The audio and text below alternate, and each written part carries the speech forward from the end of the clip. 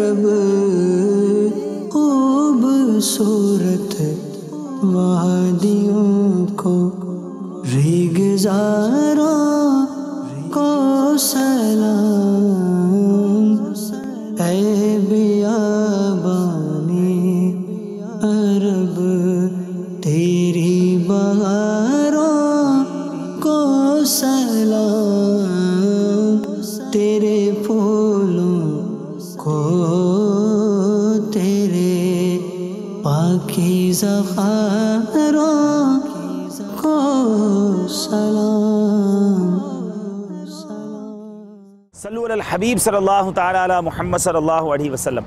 मेरे मीठे और प्यारे इस्लामी भाइयों और मदनी चैनल के नाजरीन इस वक्त हम मदीना मुनव्वरा से करीब खैबर के शहर के करीब हैं। वही खैबर जहाँ मेरे आका अली सातम साहबा के साथ तशरीफ़ लाए और जहाँ मौला अली करम अल्लाह ताला वजुल करीम ने किला खैबर को फ़तह किया, फ़ातह खैबर कहलाते हैं आप। हम इस जगह पर आकर एक और जगह की तलाश कर रहे हैं और वो मकाम साहबा है। मरहबा मरहबा। वो मकाम सहबा है और वो जगह वही है जनबी नबी पाक सलाम ने मौला अली करम अल्लाह वजुल करीम के लिए सूरज को पलटाया था और नमाज़ अदा की थी मौला अली करम अल्लाह ताला वजुल करीम ने। अजीम मुआजा है, मगर यहाँ उस नाम का कोई शहर हमें नहीं मिल रहा। हम ढूंढ रहे हैं, या नाम तब्दील हो गए होंगे, वादी कुरा, बरमद या मकाम सहबा। अहादीस की किताबों में ये नाम मिलते हैं। हम कोशिश कर रहे हैं कि तलाश करें, मगर नाम तब्दील हो जाते हैं। बहुत पुरानी बात है, चौदह, साढ़े चौदह सौ साल पुरानी बात है। तो कोई नया नाम हो सकता है, हो गया होगा। हम तलाश कर रहे हैं, किसी पुराने अरबी को तलाश कर रहे हैं, जो हमें बताएँ। लेकिन लगता यही है कि इन्हीं वादियों से मेरे आका गुजरे होंगे, क्योंकि आगे खैबर है और फिर वो मकाम है, जो आज आपको और दिखाना है। एक नई जगह पर जा रहे हैं। मेरी भी पहली बार हाज़िरी है। वो क्या जगह है? वो कुछ देर बाद बताएँगे। फ़िलहाल इस जगह पर हम मकाम सहबा की तलाश करने की कोशिश कर रहे हैं। अल्लाह ताला से दुआ है कि हमें वो जगह मिल जाए और हम वो मौजज़ा वहीं जाकर आपको बयान करें कि मेरे आका की दुआ से सूरज पलट आया। अल्लाह ताला हम सबको इस मकाम की ज़्यारत और इन मकामात का अदब नसीब फरमाए। सल्लु अलल हबीब सल्लल्लाहु ताला अला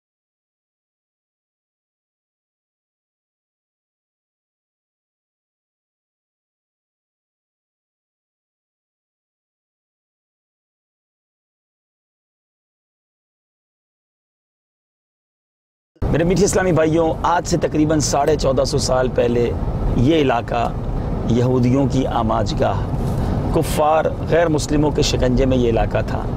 मुसलमान साहबा इकराम मुरदवान के साथ नबी पाक सलाम के लश्कर में आए और यहीं पर वो किला फ़तह हुआ।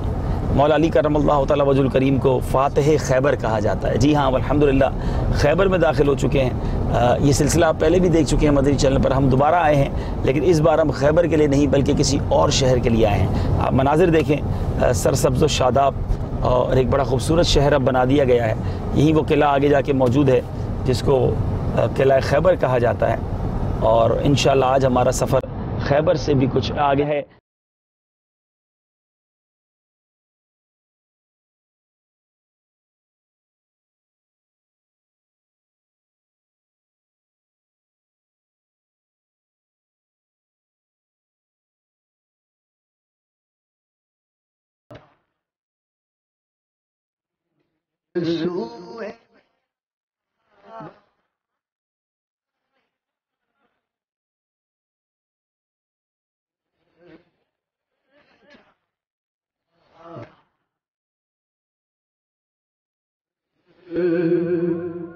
मेरे मीठे मीठे और प्यारे प्यारे इस्लामी भाइयों और मदरी चैनल के नाजरीन, इस वक्त हम मकाम तैमा पर हैं।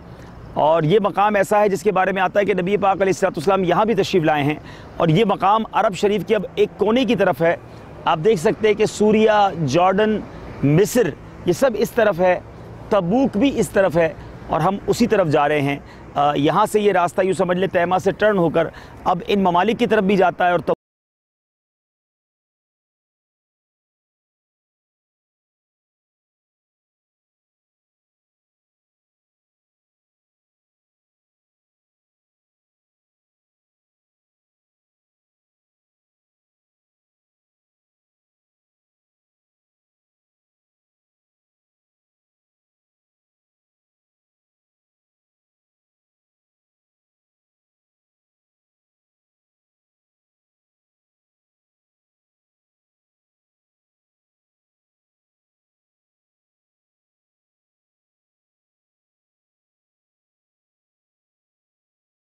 आज फिर एक और शहर, एक और ज़ियारत, एक और तारीख़ी वाक़ सिलसिला ज़्यारत मकाम मुक़दसा में हम आपके लिए लेकर आ रहे हैं। एक तवील सफ़र है, मदीना मनवरा से हमारा ये मदनी काफ़िला रवाना हुआ है, शहर तबूक की जानब।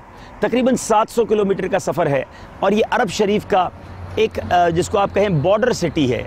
इसके करीबी जॉर्डन है, अम्मान है, फिर सीरिया का बॉर्डर लगता है, मिस्र का बॉर्डर लगता है। हम उस सफ़र पर जा रहे हैं और कल इन जब हम सुबह होगी तो तबूक की ज़्यारत है। वो वाक़ जो गजवा तबूक जहाँ हुआ, वहाँ कुछ यादें आज भी हैं। और फिर इसके साथ साथ थोड़ा और आगे एक इलाका है, जहाँ हज़रत मूसा सलाम के हवाले से बड़े तारीख़ी वाक़ात और वहाँ निशानियाँ मौजूद हैं। सिलसिला ज़्यारत बकाबात मुक़दसा पर हमारे साथ रहिएगा। बड़े ही जिसको कहें ईमान अफरोज़ मनाजिर होंगे। हमारी भी पहली बार हाज़िरी हो रही है। यकीन दिल बड़ा खुश है कि उस मुबारक मकाम पर जाना नसीब हो रहा है, जहाँ हमारे आका और हमारे साहबा तशरीफ़ ले गए और अल्लाह के नबी हज़रत मूसा सलाम उनसे भी वाबस्ता यादें वहाँ मौजूद हैं। वो मुबारक मकाम, जहाँ मनो सलवा का नजूल हुआ था। जी हाँ कुरानी वाक़ात हैं। हमारे साथ रहिए। इन ये मनाजिर लेकर हाजिर होंगे। सल्लु हबीब सल्ला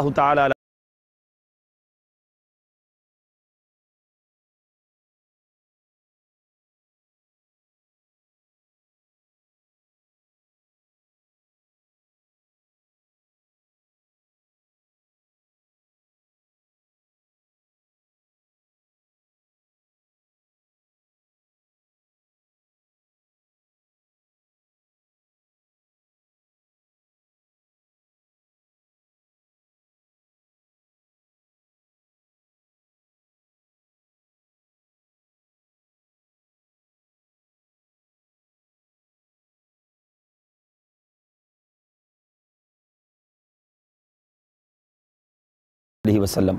मेरे मीठे और प्यारे इस्लामी भाइयों और मदनी चैनल के नाजरीन, आज हम अल्हम्दुलिल्लाह अरब शरीफ के एक ऐसे शहर में मौजूद हैं, जिसकी गलियों में, जिसकी फ़ज़ाओं में मेरे आका मदीने वाले मुस्तफ़ा सल्लल्लाहु अलैहि वसल्लम और साहबा कराम अलीमरदवान की आमद हुई। ये वो जगह है जहाँ मेरे आका अली सलाम के कदम चूमने का जिसे शरफ़ हासिल हुआ। ये वो अजीम इलाका है जिसको तबूक के नाम से याद किया जाता है। ये तबूक जो है, ये मदीना मुनवरा से 700 किलोमीटर दूर है। जी हाँ 700 किलोमीटर्स। आज तो बड़े अच्छे रोड बने हुए हैं। बड़ी आसानी के साथ एयर कंडीशन गाड़ियों में सफ़र होता है। मगर जैसे जैसे हम यहाँ आते रहे, हमें ये समझ पड़ती रही। ये समझ आता रहा कि नबी पाक सलाम और साहबा कराम अलीमरदवान ने यह सफ़र कैसे किया होगा। ये सफ़र बड़ा मुश्किल था। सख्त गर्मी के दिन थे। मुसलमानों पर बड़े कसम पुरसी के दिन थे। मुसलमानों के पास मालो दौलत ना था। इस जंग को लड़ने के लिए सवारियाँ भी ना थी, असलहा भी ना था और खाने पीने के सामान की भी किल्लत थी। और ये सफ़र साहबा कराम अलीमरदवान ने बड़ी कुर्बानियाँ देकर किया। जी हाँ सवारी का आलम यह था कि तीन मुजाहिदीन के लिए एक ऊँट था। किताबों में लिखा है कि पंद्रह मील का सफ़र होता तो एक सहाबी दस मील पैदल चलते और पाँच मील उन्हें ऊँट पर बैठने को मिलता। ज़रा गौर कीजिए, अगर इसको इसी तरह कैलकुलेट किया जाए तो ये समझ आता है कि 700 किलोमीटर में से तकरीबन 250 किलोमीटर, सवा दो सौ किलोमीटर हर सहाबी ने सवारी पर सफ़र किया होगा और तकरीबन साढ़े चार सौ किलोमीटर पैदल सफ़र किया होगा। गर्मी की शिद्दत, दुश्मन का खौफ, तकरीबन तीस हज़ार का ये लश्कर था, मगर ये हाल था कि जनाब, अपने पास तमाम साजो सामान ना था। और यहाँ पानी की भी बड़ी किल्लत थी। इन्हें अपनी खुश्क ज़बानों और खुश्क हल को सिर्फ़ तर करने के लिए, अपनी सवारी के जो कम ऊँट थे, वो ज़िबा करने पड़ते, ताकि ऊँट के मादे से कोई तर चीज़ निकले और जिससे वो अपनी हलक जो है, उसको, ज़बान को तर कर सकें। मेरे मीठे और प्यारे इस्लामी भाइयों, ये गर्मी के मौसम में जंग हुई थी। अरब शरीफ की गर्मी, वैसे भी आप जिन्होंने देखी है, वो जानते हैं। सख्त गर्म लू इस इलाके में चलती है, जो खाल तक को जला कर रख देती थी। और अब यहाँ लड़ाई किससे थी? जंग किससे थी? रूमियों से जंग थी। लाखों की फौज और उसके सामने एक रिवायत के मुताबिक दस हज़ार और एक रिवायत के मुताबिक तीस हज़ार साहबा थे। और ये लश्कर वहाँ से मदीने से चला था, जिसके पास साजो सामान भी थोड़ा था। आज किलाए तबूक के पास अब मौजूद हैं। यही वो जगह है जहाँ कहीं हमारे साहबा ने पड़ाव डाला था। अभी ये जंग यहाँ तक जब काफिला पहुँचा, क्या हुआ, ये आपको बाद में बताएँगे। लेकिन आज आपको पहले ये बताते हैं। जब ये सफ़र शुरू हुआ तो कुर्बानी की कैसी दास्तानें रकम की गई? आइए पहले कुछ मदीना मुनव्वरा में तबूक के हवाले से होने वाले वाकयात के बारे में सुनते हैं। मेरे मीठे इस्लामी भाइयों और मदनी चैनल के नाजरीन, हिजरत का आठवां साल। मदीना मुनव्वरा में मेरे आका अलीसलाम को आठवां साल था।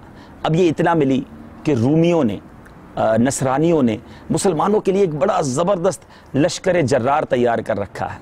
बड़ी ज़बरदस्त तैयारी हो रही है मदीना मुनव्वरा पर हमले की इस्लाम को मिटाने की। जब ये इतना नबी पाक सलाम तक पहुँची तो मेरे आका अली सलाम ने अब लश्कर तैयार किया कि इससे पहले कि ये लोग वहाँ आकर हमला कर दें, क्यों ना हम मदीना मनवरा से यहाँ आ जाएँ और इनसे जंग की जाए। मेरे मीठे इस्लामी भाइयों, नबी पाक सलाम ने अब मुसलमानों को, साहबा कराम को जहन दिया कि अपना मालो दौलत लेकर आएँ। अल्लाह की राह में खर्च करें और लश्कर इस्लाम की मदद की जाए। बहुत बड़ा लश्कर बनाना था, सामान की किल्लत थी। अब साहबा कराम अली रिदवान ने जो कुर्बानी की दास्तान रकम की सुबहान अल्लाह हज़रत उमर रदी अल्लाह तु के उन दिनों हालात माशी तौर पर अच्छे थे। किताबों में लिखा है कि आपने सोचा कि आज मौका है, हज़रत अबू बकर सिद्दीक रदी अल्लाह तु से आगे बढ़ने का। आपने क्या किया? अपने घर का आधा माल फिफ्टी परसेंट बारगाह रसालत में लाए और अर्ज़ की रसोल्ला सल्लल्लाहु अलैहि वसल्लम, ये मेरी तरफ़ से हाजिर है। मेरे आका सलाम ने सवाल किया, ए उमर घर वालों के लिए क्या छोड़ा है? अर्ज़ करते हैं, आका, आधा ले आया हूँ, आधा छोड़ आया हूँ। अब इंतज़ार था आशिक अकबर का। सिद्दीक अकबर रदी अल्लाह तु क्या लाते हैं? आपके सर पर बज़ाहिर माल थोड़ा था। एक रिवायत के मुताबिक चार हज़ार दरम थे और कुछ सामान था एक गठड़ी बनाकर लाए। बारगाह रिसालत में पेश किया।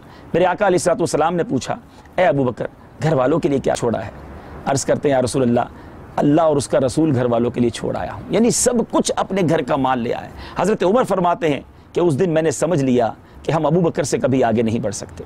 मेरे मीठे और प्यारे इस्लामी भाइयों, इस वाक़े के बारे में शायर क्या खूब लिखते हैं? इतने में वो रफ़ी के नबूवत भी आ गया, जिससे बनाए इश्क मोहब्बत है उस्तवार। ले आया अपने साथ वो मर्द वफा सरिश्त, हर चीज़ से जिससे चश्मे जहाँ में हो एतबार। बोले, हुजूर, चाहिए फ़िक्र अयाल भी, कहने लगा वो इश्क मोहब्बत का राजदार। ए तुझसे दीद आए, महो अंजुम फरोग गिर ए तेरी जात बाई से तकवीन रोज़गार, परवाने को चराग है, बुलबुल को फूल बस सिद्दीक के लिए है, खुदा का रसूल बस। मेरे मीठे इस्लामी भाइयों, देखा आपने, किस तरह कुर्बानी की दास्तानें रकम की गई। ये दो वाकयात तो हम सुनते हैं, मगर आज मैं कुछ और भी आपको सुनाना चाहता हूँ। हज़रत अब्दुलरहमान बिन औफ ने क्या किया? आपने 200 औकिया चांदी हुजूर की खिदमत में पेश कर दी, बकिया सारा माल निसफ निसफ बांट दिया, और एक निसफ जिहाद के अखराज पूरे करने के लिए हाजिर कर दिया। उस दिन नबी पाक सलाम ने हज़रत अब्दुलरहमान बिन औफ रदी अल्लाह को ये ये दुआ दी थी। मेरे आका ने फरमाया था बारकल्लाका फ़ी मा अनफ़क्ता वफ़ी मा अब कईता ए अब्दुलरहमान अल्लाह ताला तुझे बरकत दे। उस माल में भी जो तूने खर्च किया और उसमें भी जो तूने बाकी रखा। हुजूर की ये दुआ कैसी कबूल हुई? सुबहान अल्लाह मेरे आका की दुआ थी। अल्लाह ताला ने आपके माल में इतनी बरकत दी जिसका अंदाज़ा करना मुश्किल है। सिर्फ़ अंदाज़ा लगाने के लिए आप मुलायजा फरमाएँ कि आपने चार हज़ार दिरम एक मरतबा खर्च किए। फिर एक मौके पर चालीस हज़ार दिनार खर्च किए। फिर एक मौके पर पाँच सौ घोड़े राह खुदा में पेश किए। फिर एक मौके पर पाँच सौ ऊँट अल्लाह की राह में दिए। आपने सन इकतालीस हिजरी में मदीना तैयबा में वफात पाई। उस वक्त आपकी उम्र पचहत्तर साल थी। आपने फिर वसीयत की थी कि आपके माल में से पचास हज़ार दिनार अल्लाह की राह में खर्च किए जाएँ। हर बदरी साहबी जो उस वक्त ज़िंदा थे उनको 400 दिनार भी देने की वसीयत की। ज़िंदा बदरी साहबा की उन दिनों तादाद 100 के करीब वो साहबा थे। सबको चार चार सौ दिनार भी दिए गए। इसी तरह एक हज़ार घोड़े मुजाहिदीन को मुहैया करने की वसीयत की। इन वसीयतों को अदा करने के बाद इतना सोना वर्षा में छोड़ा गया कि कुल्हाड़ों से सोना काटा गया। आपने चार बेवाएँ छोड़ी। आपकी हर जौजा ने मीरास में अपने हिस्से के बदले में अस्सी हज़ार दिनार वसूल किए। कैसी दुआ मिली कि आपके माल में बरकत ही होती चली गई और आप तकसीम भी करते चले गए। तो पता चला, अल्लाह की राह में खर्च करने से सदका, करने से माल कम नहीं होता, उसमें इजाफा होता है। आप खुद भी देख लीजिए, जो ज़क़़त पूरी अदा करते हैं, जो सदका देते हैं, अगले साल उनकी ज़क़़त ज़्यादा ही बनती है। तो अल्लाह की राह में खर्च करने, जो खर्च करने का जज्बा रखते हैं, उनके लिए भी गजबा तबूक एक बड़ी रोशन मिसाल है। और जो बकील हैं, कंजूस हैं, खर्च करने में दिल नहीं चलता, ये वाक़ तबूक के मैदान से आपको सुना रहा हूँ और आपसे अर्ज़ करता हूँ। देखिए, हमारे साहबा ने खूब खर्च किया। अल्लाह ने ऐसा करम किया कि आज भी साढ़े चौदह सौ साल गुजर गए, हम उनके वाक़ात बयान कर रहे हैं, ईमान ताज़ा कर रहे हैं। तो अल्लाह ने दिया है, अल्लाह की राह में दिल खोल कर खर्च करना चाहिए, बुखल नहीं करना चाहिए। सखावत रब को भी पसंद है और सखी इंसान अल्लाह के करीब, लोगों के करीब। जी हाँ ये अहादीस के अल्फाज हैं कि सखी अल्लाह के करीब, जन्नत के करीब, लोगों के करीब और जहन्नम से दूर होता है। और जो बखील होता है, कंजूस होता है, वो अल्लाह से दूर, जन्नत से दूर, लोगों से दूर और जहन्नम के करीब होता है। अब फैसला कर लीजिए, आपने किसके करीब होना है? आपको इंशाल्लाह किले के मनाजिर भी दिखाते हैं। मजीद साहब कराम मरदवान की कुर्बानी के वाक़ात सुनाते हैं। सल्लु अल हबीब सल्लल्लाहु ताला अला अलैहि वसल्लम। सल्लु हबीब मोहम्मद सल्लल्लाहु अलैहि वसल्लम। बात चल रही थी, साहब कराम अली रिदवान के इन्फाक की, अल्लाह की राम में खर्च करने की। कौन कौन सा वाक़ बयान किया जाए?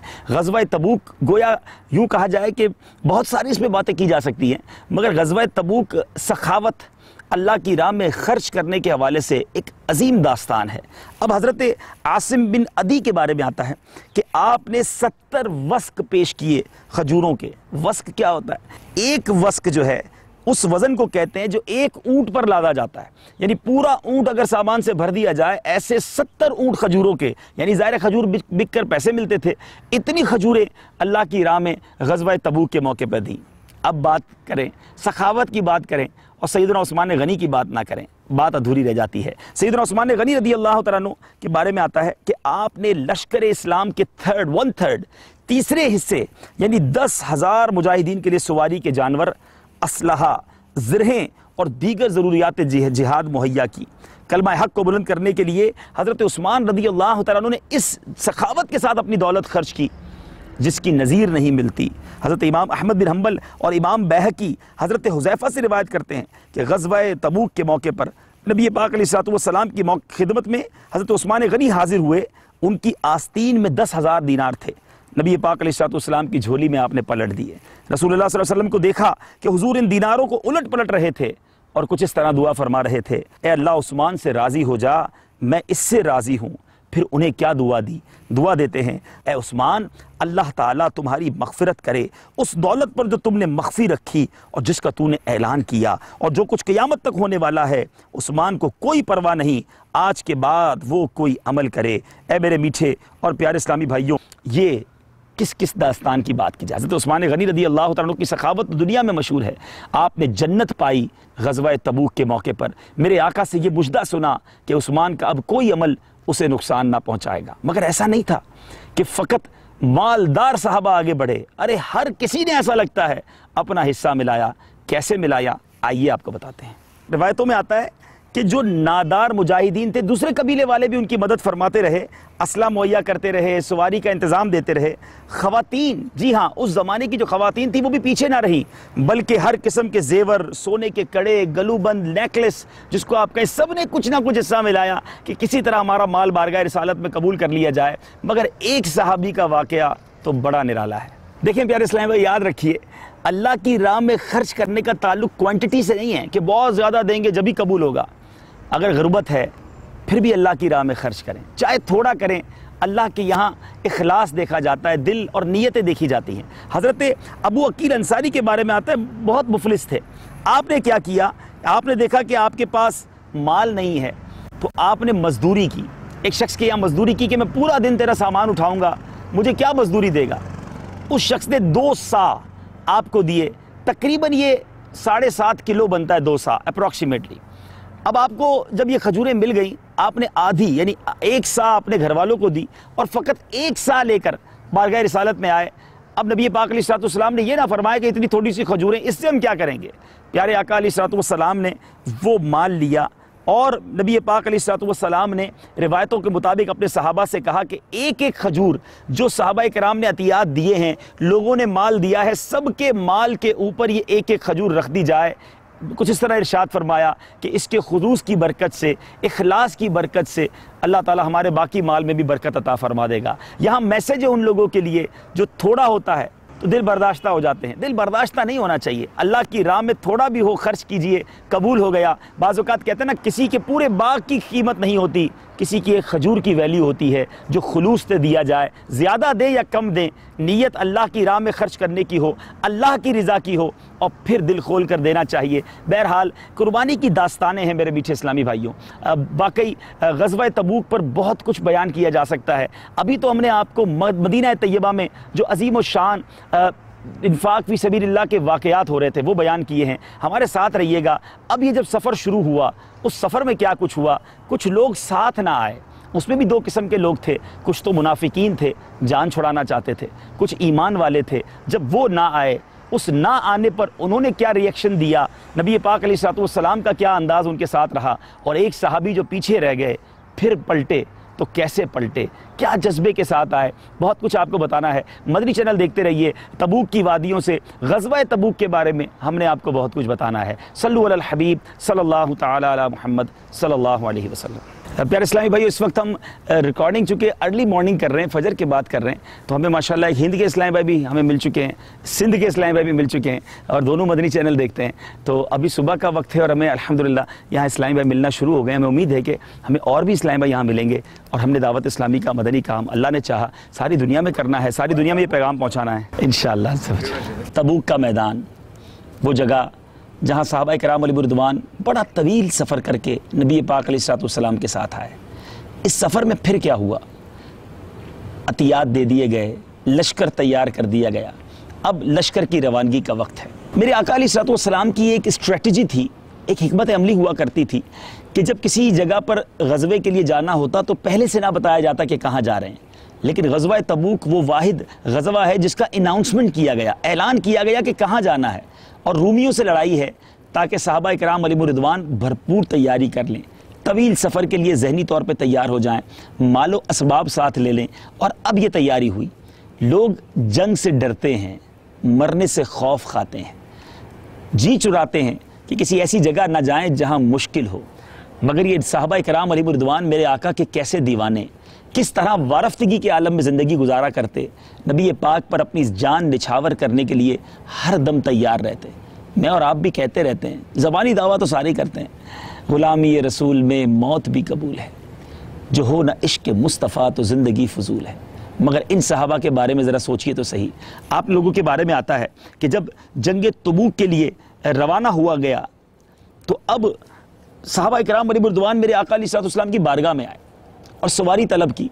तो प्यारे आका सलाम ने इरशाद फरमाया, मेरे पास सवारी नहीं है। तो इसलिए कई सहाबा जिनके पास सवारी नहीं थी, वो इस गजबे में शिरकत ना कर सके। कुछ साथ चले, मगर एक अगर बहुत ज़्यादा क्राउड हो जाता तो ये सफ़र कैसे होता? तो उन्हें मना किया गया तो वो बिल बिलाकर अल्फाज हैं किताबों में, कि जिसको कहते हैं ज़ारो कितार, तड़प कर रोना, इस तरह रोए कि हमारे पास सवारी होती हमारे पास भी साजो सामान होता, हम भी इस लश्कर में अपने आका के साथ शहीद हो जाते। याद रहे ये लश्कर बड़ी गर्मी में, बड़ी तकलीफ़ में, कम सामान में, खाने पीने का सामान भी नहीं, मगर उसमें शरीक होने के लिए साहबा ज़ारो कितार रो रहे जो रह जाते हैं, वो तड़प रहे हैं, वो रो रहे हैं। मेरे बीच इस्लामी भाइयों, ये आहोजारी ये गिरियाबाजारी किस लिए है? कि मैं भी अपने आका के साथ जाकर अपनी जान कुर्बान कर दूँ। अब अल्लाह तबारक ताली को उनकी बेकरारी पर कैसा रहम आया? कुरान मजीद गवाह है, चुनाच इरशाद होता है, सूरह तौबा के अंदर। आइए, पहले वो आयात और उनका तर्जमा सुनते हैं। वला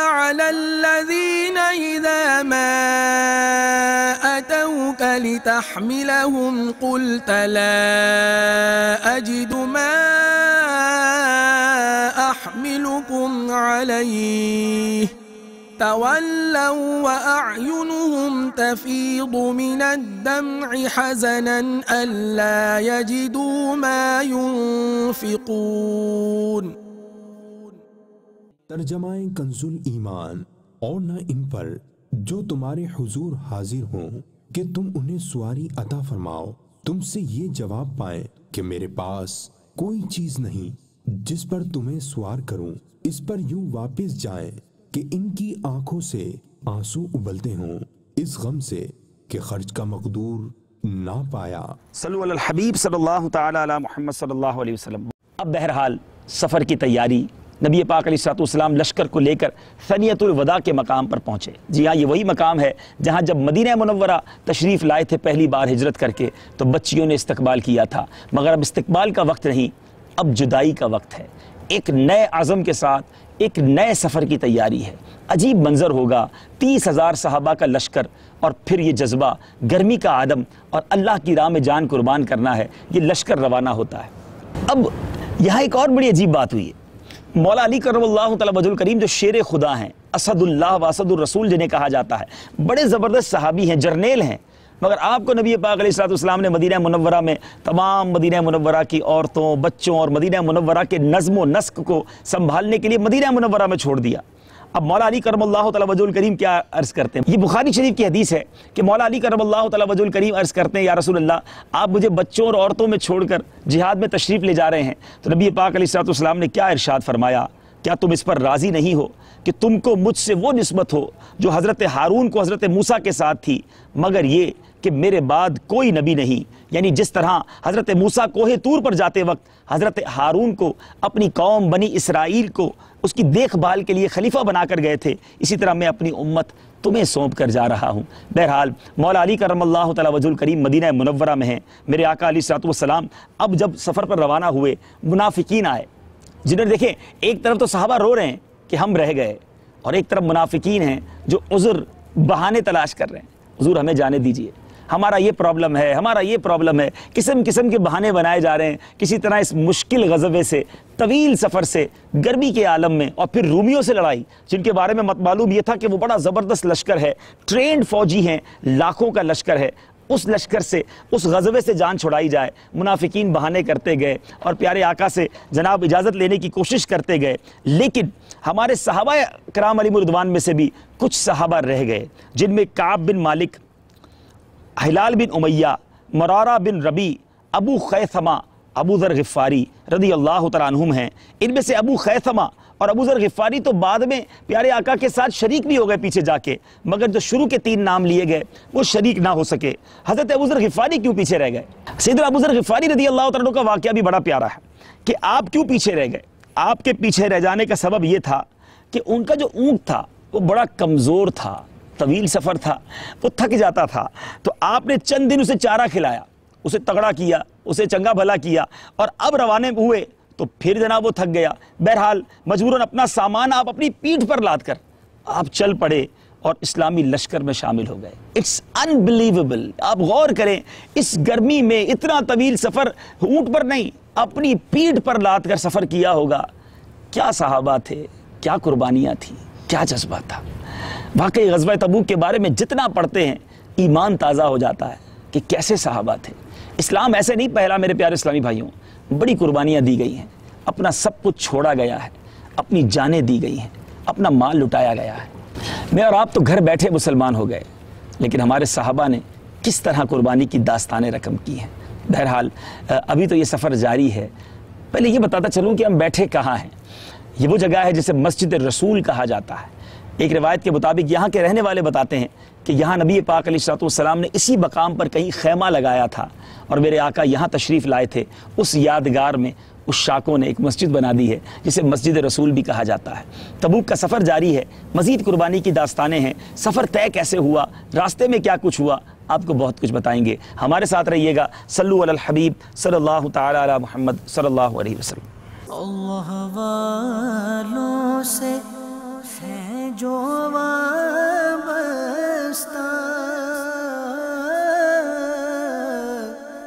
है मकामते मुकदसा